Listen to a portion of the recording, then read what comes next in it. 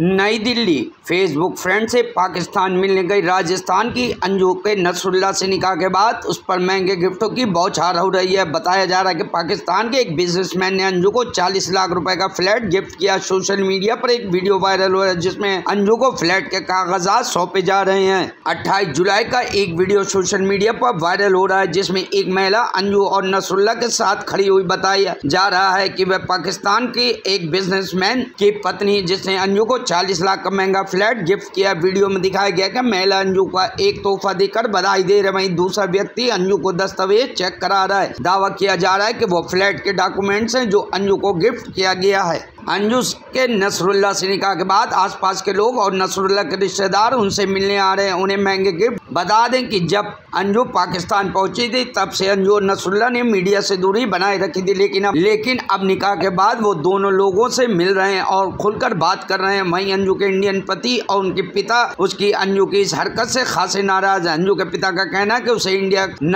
आने दिया जाए। अब वो उसकी बेटी नहीं है। बताया जा रहा है कि अंजू के इंडियन हस्बैंड कानूनी सलाह लेकर अंजू से तलाक के बारे में सोचें। इसके अलावा भारत सरकार से उसके वीजे पर दस्खत के बारे में भी जाँच की मांग करेंगे। तो सो ये हमारी तरफ़ से आपको गिफ्ट है। हम ये कहते हैं कि इसके बाद भी इंशाल्लाह ये स्टार्ट है, लेकिन हम भरपूर तरीके से आपको यहाँ पे बैकअप भी करेंगे। और एक आज के इस हाउस में क्योंकि हम समझते हैं, यहाँ के माहौल को भी। हम बहुत ज़्यादा अपने साथ डायरेक्टर्स को, बाकी लोगों को नहीं लाए।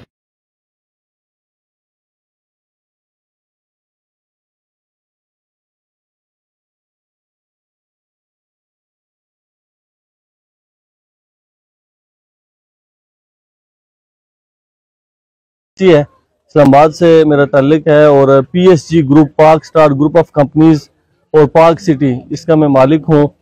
हम बुनियादी तौर पे ये जो काफ़ी दिनों से सोशल मीडिया के अंदर हमने देखा कि ये जो अंजू नाम की लड़की हैं, जो जिनका ये ससुराल है, यहाँ पे जो आई हैं, हिंदुस्तान से, और इनका जो नाम फातिमा भी जो नाम यहाँ पे इन्होंने इस्लामिक नाम रखा है। तो हम बुनियादी तौर पे इस खुशी के इजहार के साथ एक खातून एक मुल्क से वहाँ से ट्रेवल करती है, यहाँ पे आके इस्लाम को कबूल करती है और उसके बाद वो यहाँ पे आके अपनी ज़िंदगी गुजार रही है। तो हम इस खुशी के साथ उनको मुबारकबाद देने के लिए भी आए और इस्लाम के अंदर वेलकम करने के लिए भी आए।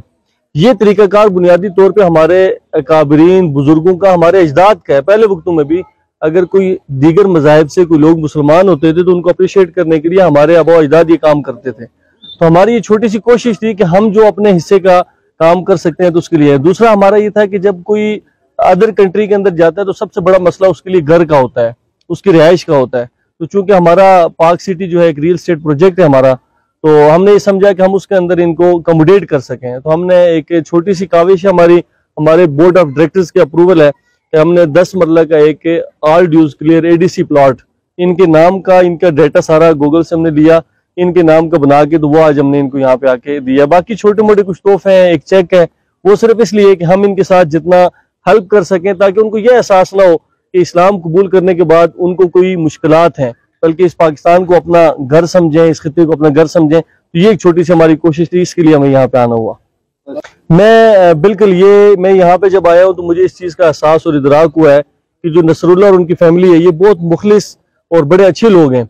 लेकिन माली लिहाज से इनको यहाँ पे, एक तो यह है कि अदर सोसाइटीज अदर इदारों को इनको बैकअप करना चाहिए और बिलखसूस जो ये बेचारे थोड़ा सा खौफ वरास के शिकार भी हैं कि इनको स्टेट पॉइंट ऑफ़ व्यू से हुकूमती इसमें कोई शक नहीं कि हमारी हुकूमत के ऊपर भी बहुत सारे प्रेशर होंगे, इदारों के ऊपर भी होंगे।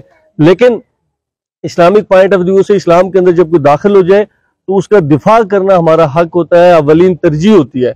तो लिहाजा हुकूमत को भी इनको सपोर्ट करना चाहिए और बाकी हमारे पाकिस्तान के अंदर ऐसे लोग हैं जिनके पास बेताशा पैसा है। तो इस बच्ची को कभी ये फील ना हो कि ये किसी ऐसी जगह पे आ गई, या किसी ऐसे मज़हब में आ गई कि जहाँ इसका कोई अपना नहीं है, बल्कि इसकी इतनी अच्छी फीलिंग्स हो कि इसको देख के बेतहाशा लोग मुसलमान हूँ, इस्लाम की तरफ़ कन्वर्ट हूँ।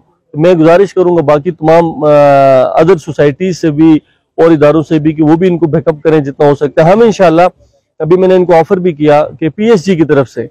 अगर इनका यहाँ पे जो लीगल मामला हैं वो क्लियर हो जाते हैं तो हम इनको एज ए एम्बेसिडर लेंगे इनशाला इनको रेगुलर सैलरी ऑफ़र करेंगे मंथली सैलरी यहाँ घर बैठे हुए इनको हम इनशाला देंगे। इनशाला लेकिन यहाँ के हमें अंदाज़ा भी हो कि बड़ा खूबसूरत इलाका है। तो आपके इस इलाके के अंदर इतनी अट्रैक्शन है कि आप जो है ना दूसरे बॉर्डर पार से भी लोगों को अट्रैक्ट करके अपनी तरफ़ ले आते हैं।